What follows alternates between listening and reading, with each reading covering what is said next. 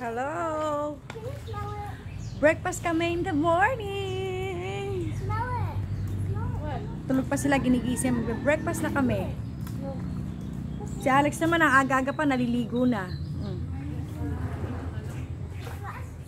Magbe-breakfast kami. Ay, kiki mo nalaglag. Ay, bastos.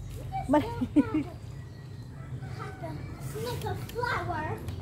Kamali, ang sarap. Now I will put petals in the pool. Inantay namin yung breakfast namin. Ito na, dumating na. Woo! Hey, can you give me that? Can you give me that, please? The, the, the other flower.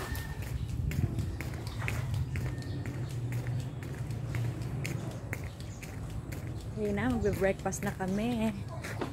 Sa'yo nga to, silog. Nire-ready na yung aming breakfast. Kasi rin, hindi pa, ano, hindi pa nagising. Gising na.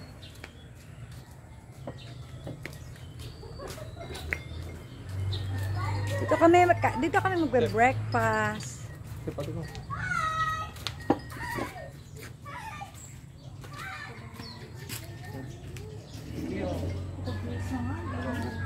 Tawagin mo nga sila.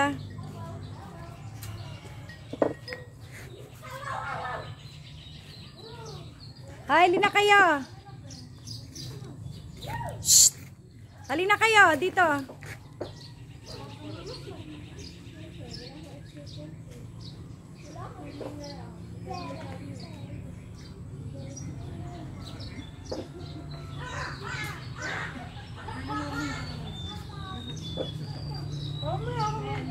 Wala pa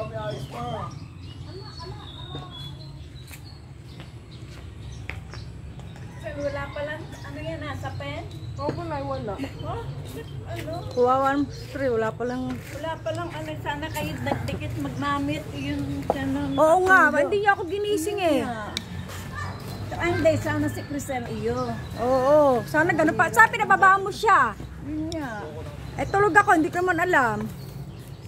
Akala ko naman eh, okay yung ano. Akala ko naman may kumot pa rin. Baka nakita ko nakabuloktot pero hindi ko nakikita walang sapin. yung tsak na yan. Anim ba yan? Kaso ba yan? Oo. Dami. Mm. Halika. Eh, ba't wala po? Kulang ba? Hmm. Eh, pwede naman kumain doon sa loob natin eh. Binuhat ko na nga yung dalawa eh. Ayan na. Oh. Bye-bye, kakain kayo maya-maya.